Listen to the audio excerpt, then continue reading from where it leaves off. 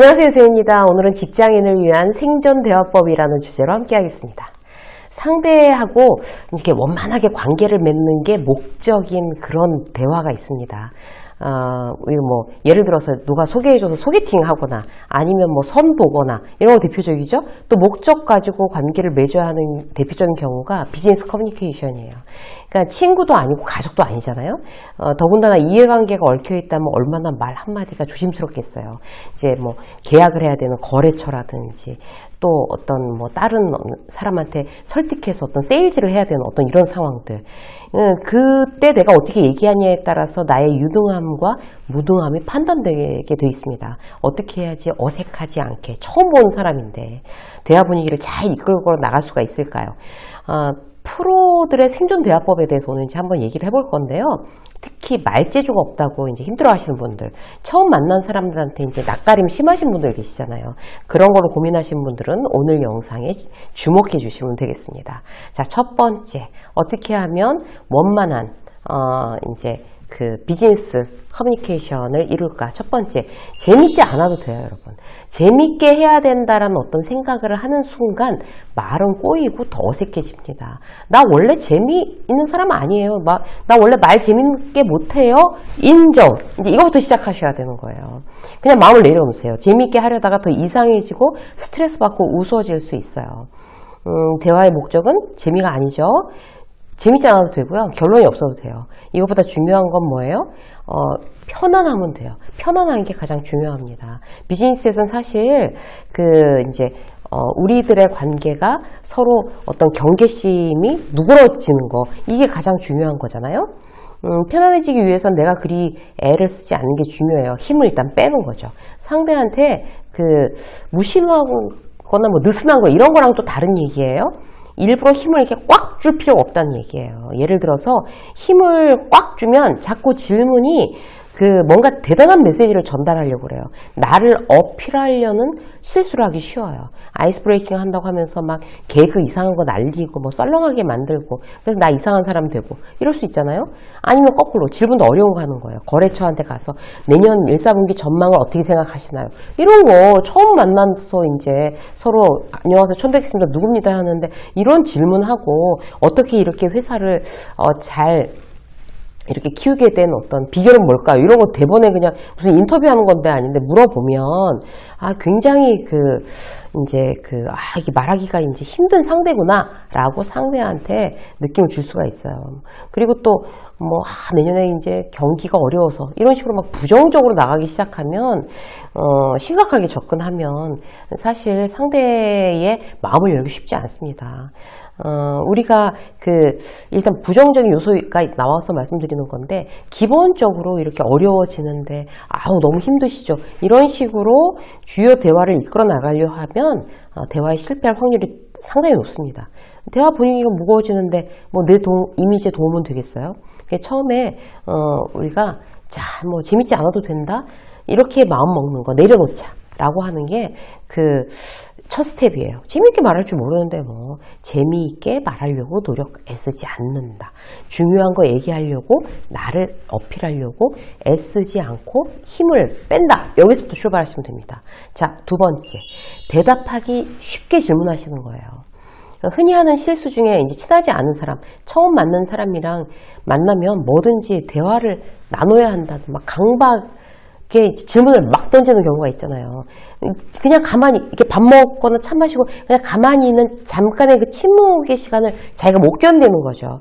그럼 이제 막 던, 던져야 돼요. 뭐라도 얘기해야 되는 거죠. 뭐라 그래요? 취미가 어떻게 되세요, 사장님? 뭐 이런 거.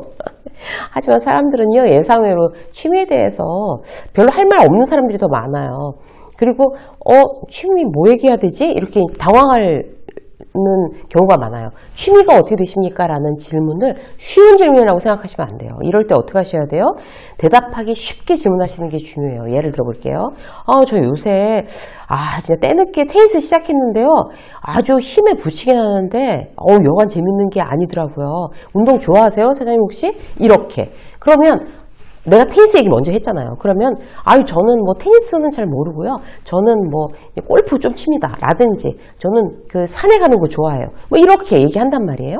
뭐 또는 내가 했다가 아 제가 예전부터 커피에 관심이 많아서 많이 마시기만 해- 하다가 지금은 직접 로스팅하고 드립커피 배워가고 있어요. 제 유일한 취미예요. 근데 너무 재밌어요. 막, 음, 사장님 혹시 뭐 취미생활 따로 하시는 거 있어요? 이렇게 하면 내가 가이드라인을 준 거잖아요. 나 커피 마시는 거 좋아하고 커피 내리는 거 이런 거 요새 배우고 있어. 가이드라, 가이드라인을 줬으니까 아 그런 종류의 이야기를 하면 되겠구나. 아 저는 요새 뭐 저기 별로 하는 일도 없고 그냥 저는 그냥 드라마 보고 뭐 이러는 거 좋아해요. 이렇게 얘기를 하든가 이렇게 상대가 편하게 대답할 수 있는 가이드라인을 제시하는 거 굉장히 중요합니다. 주말에 뭐 하세요? 이렇게 묻는 게 아니고 저는 주말에 요즘에 건강 때문에 항상 산에 다녀요. 우리 뒤에 그 산에 한 두 시간이면 갔다 올 수 있는 산이 있거든요. 사장님은 뭐 주말에 뭐 특별히 뭐 하세요? 뭐 이렇게 뭐 이렇게 한가한 시간에 뭐 하세요? 주말에 뭐 내가 산에 갔다 온다고 먼저 얘기하고 이렇게 하면 상대는 부담 없이 이야기할 수 있습니다. 자, 세 번째. 끼어들지 않는 거예요. 어, 공통의 화자, 화제를 딱 찾았다 그러면 맞장구 치는 게 센스죠. 어, 맞아요, 사장님. 이렇게. 아, 맞아요, 부장님. 뭐 이렇게. 근데 이때 주의해야 될 건요. 남의 말하고 있는데 그 기회를 탁 중간에서 이렇게 채면 안 된다는 거예요. 그럼 대화의 흐름을 끊게 되는 거죠. 예를 들어서, 어, 겨울이네요. 세월 빠르네요. 근데, 그러니까 상대가 있다가, 어, 전 겨울 좋아해요. 스키 타거든요. 홍천에 겨울마다 가요. 뭐 이러면서 얘기를 막 시작했어요. 그런데 내가 스키 타는 걸 또 좋아한단 말이에요. 그러면 그 중간에서 어머 스키 좋아하시는구나. 저도 좋아해요. 어머 어쩜 저 요새 강원도로 가는데요. 요즘 어디가 좋고요. 뭐 강원도 아니면 또 어디가 좋고요. 지난번엔 저기 갔었는데요. 거기는 요즘 뭐 아 이게 이게 그 저기 얼음 이눈 질이 떨어져서 어쩌고저쩌고 이렇게 자기가 계속 말빼서 하는 거 굉장히 신뢰가 되기 쉽고 상대는 이 대화를 재미없어 합니다. 결국 말 꺼낸 사람은 듣고 있어야 되는 그런 대화 패턴 호감 주지 않죠. 이럴 때는요. 어, 떻게 하셔야 돼요? 어, 저는 뭐 스키 스키 좋아, 전 겨울 좋아해요. 뭐 스키 타거든요. 뭐 이렇게 얘기하면 아 스키 좋아하시는군요. 예? 오늘 겨울에 저도 스키 좋아하긴 하는데 겨울에 몇 번 정도 가세요? 뭐, 보드도 타세요? 이렇게 질문을 던져줘야 되는 거죠. 질문을. 그러다 이제 상대가 나에게 질문하면 그때 자연스럽게 대답하는 거. 그래서 핑퐁이 되는 어떤 그런 대화법이 대단히 중요합니다. 또 다른 예. 식당에 가서도 마찬가지죠. 음, 식당에 가서 이제 음식 얘기를 이제 하기가 쉽죠. 뭐 어떤 요리 좋아하세요? 뭐 태국 요리 좋아하고 뭐 이런 얘기하면 어떤 식당이 맛있어요? 이렇게 묻는 사람이 있고 거기 가보셨어요? 어 태국 요리요? 그러면 거기 광화문에 거기 가보셨어요? 저기 한남동에 거기 가보셨어요?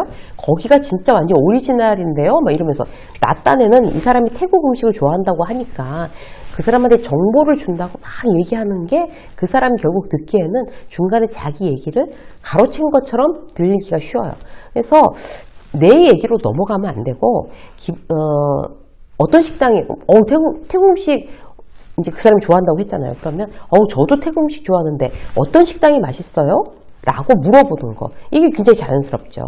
그럼 이제 어쩌고 저쩌고 막 얘기하면 그 자기가 얘기하다가 어 뭐지 뭐 부장님도 혹시나 과장님도 그 태국 식당 좋아하세요? 그럼 과장님은 어떤 식당 가세요? 그러면 그때 질문 듣고 내가 어 제가 가보 가서 제일 맛있었던 여기인데 제가 링크 여기 하나 걸어서 보내드릴게요. 막 이런 거 있잖아요. 그렇게 얘기하는 게 자연스럽죠. 자, 한 가지 더 볼게요. 분석이나 평가하지 않는 거예요. 제일 조심해야 될 태도이기도 하죠. 어, 내 의견을 설득하고 관철시키려는 거 그다지 좋은 방법이 아닙니다. 남을 설득해서 내 의견에 동의를 구하려고 하는 그런 어떤 그 습관이 붙어 있는 분들이 계세요. 근데 그런 대화는 회의 시간에만 하면 돼요. 평소에는 그냥 뭐 이게 맞고 이게 다 이게 틀리고 뭐 이 편, 네편 이런 얘기보다는 뭐 그냥 개인의 취향 어떤 의견이라도 상관없는 이런 것을 화제로 올리는 게 좋죠. 자연스럽고. 대화 중에 저 사람 얘기하고 있는데 에이 그건 아니고 에이 그건 아니지 라고 하는 사람들이 있어요. 그렇게 시작하면 상대 열받는 거예요. 직원들한테도. 그런데 의외로 그런 습관 붙어 있는 경우 많죠. 예를 들어서 이제 동료들끼리 어, 어, 점심 먹으면서 아니면 친구끼리 이런저런 얘기 하잖아요. 그런데 거기서 한 이제 어, 동료가 같이 밥 먹고 있던 동료가 어 수제 햄버거 거기 맛있던데 이렇게 얘기하면 에이 수제 햄버거 제대로 안 먹어봤구나 이렇게 나오는 사람 있잖아요. 그게 바로 대화를 정말 모르는 사람들이에요. 예, 이렇게 시작하면서 음, 이제 뭐 수제 햄버거 안 먹어봤구나 수제 햄버거라고 하면 제대로 먹으려면 이태원에 어디 홍대 앞에 어디 이렇게 가야지 이렇게 치고 들어가는 사람은 비호감으로 분류됩니다. 자기는 뭐 거기가 지금 어디 어디 얘기하면서 거기가 맛있다는데 그걸 왜 내가 평가하겠어요? 그 사람 입맛인데 그 사람의 개인 취향이잖아요. 그래서 어 우리가 이제 어떤 얘기를 아 그건 아니고 뭐 아 그게 아니라 이거고 이런 식으로 어, 상대가 더 이상 말하기 싫게 만드는 방법입니다. 그런 습관이 있으면 어, 이제 내가 아 뜨거라 이제 그렇게 하지 말아야지라고 생각하고 조심하시는 게 굉장히 중요하고요. 정답이 없는 얘기들, 서로 마음 편하게 할 수 있는 이야기들을 주요 화제로 삼는 것이 원활하게 대화하는 사람들의 어떤 요령이라고 할 수 있어요. 그래서 이제 내가 어떤 상대 의견에 대해서 막 분석하고 평가하지 않는다. 이것만 알아놓으셔도 여러분들의 어떤 이제 나쁜 말 습관을 이렇게 탁 잡을 수 있는 좋은 기회가 됐습니다, 오늘. 자, 어, 여러분들과 함께 오늘 이제 직장인을 위한 생존대화법, 특히 음, 누군가와 이제 이야기하는 거에 굉장히 어, 낯가리고 처음 만난 사람하고 이야기하는 거 힘들어 하시는 분들 오늘 말씀드린 네 가지를 활용하셔서 보다 원활한 말하기, 말 잘하는 어, 비즈니스 커뮤니케이션에 능한 여러분들이 되시기를 응원하겠습니다. 이세미의 직장 수업 오늘 여기까지 하겠습니다. 고맙습니다.